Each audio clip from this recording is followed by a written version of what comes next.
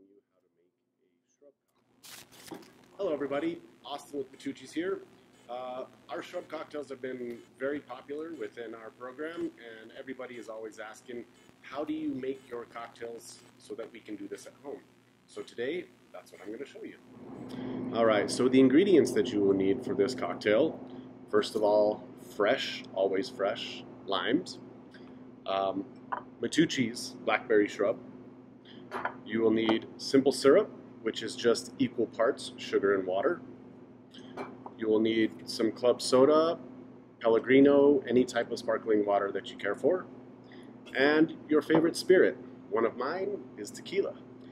When building a cocktail, always use the cheapest ingredients first.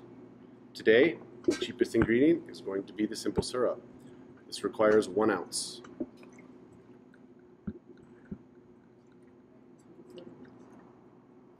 Next will be your lime juice.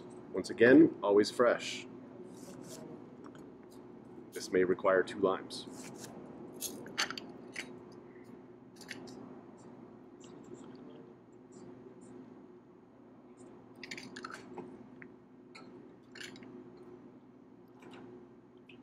Actually, not even a full one.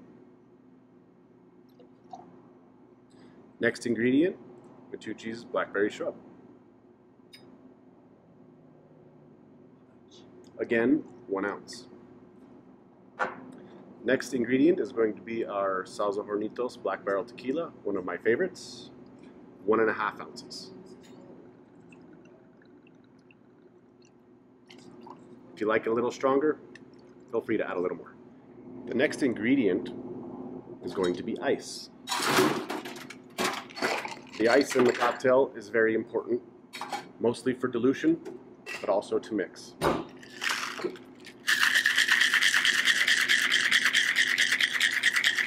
Always take with a smile. After this, make sure you get all of that out of there.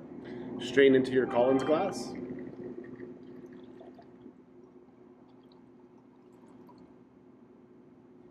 Last ingredient, the club soda. Not too much, just enough. Top this with some ice. And you have a beautiful blackberry shrub cocktail.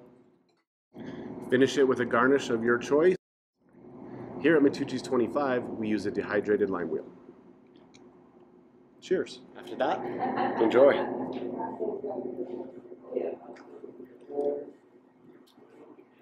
Delicious, refreshing, good for any time of the year or to pair with your favorite meal. Using the same proportions in the video, you can create your own cocktail at home using one of these fine spirits.